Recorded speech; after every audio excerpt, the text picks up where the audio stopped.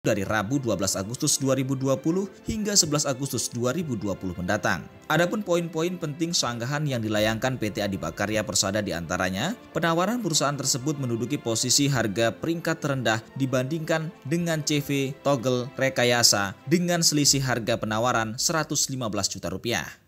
Menolak hasil evaluasi, kualifikasi, administrasi, teknis, pembuktian kualifikasi, Pokja 1 UKPBJ Tanjab Tim karena PT Adibakarya Persada tidak diundang untuk mengikuti proses tersebut dengan alasan yang tidak jelas. Kemudian, hasil evaluasi yang sangat mengada-ngada terkait dukungan material batu, andesit dan izin usaha pertambangan atau IUP operasi produksi batu andesit. Pada poin ini, Pokja 1 UKPBJ Tanjab Tim tidak menjelaskan secara terinci kesalahan yang sangat fatal untuk mengalahkan PT Adibakarya Persada.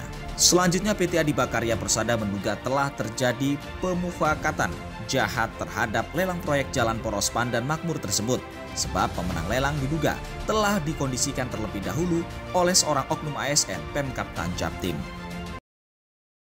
Dukungan batuan andesit dan mengupload yuk batuan andesit dan pihak kami PT Adibakarya Persada ini memang sudah mengupload dan ada bukti terlampir di portal LPSE dan di portal Apindo juga sudah kita upload maka dari ini memang ya kami berharap kawan-kawan media pihak-pihak penegak hukum memang bisa meluruskanlah masalah ini antara pihak kami yang dirugikan oleh pihak-pihak yang tidak bertanggung jawab ini hmm. itu harapan kami ke depannya yang jelas hari ini sanggahan sudah kami buat sudah kami buatkan juga hard copy-nya, soft copy-nya. Hari ini akan kami upload ke portal LPSI sebagai sanggahan resmi kita dan tembusannya juga sudah kita siapkan. Yang pertama untuk Kepala Dinas Pekerja Umum dan Penataan Ruang Tanjung Jabung Timur, Kepala UKPBJ Tanjung Jabung Timur, PPK Peningkatan Jalan Poros Pandan Makmur Blok C Geragai, Kepala Kejaksaan Negeri Kabupaten Jabung, Tanjung Jabung Timur, Kepala Kejaksaan Tinggi Jambi, Kepala Polisi Polda Jambi,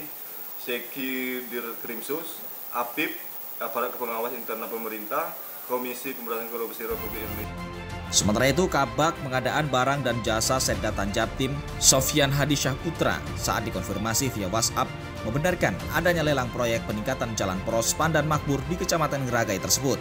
Sementara terkait sanggahan yang dilayangkan oleh PT Adibakarya Persada, Sofyan berujar, biarlah proses sanggahan tersebut berjalan sesuai prosedur. Sofyan baru bersedia memberikan keterangan secara visual setelah masa sanggahan selesai, agar keterangan yang diberikan nantinya lebih komprehensif. Dari Kabupaten Tanjung Jabung Timur, Eko Wijaya melaporkan.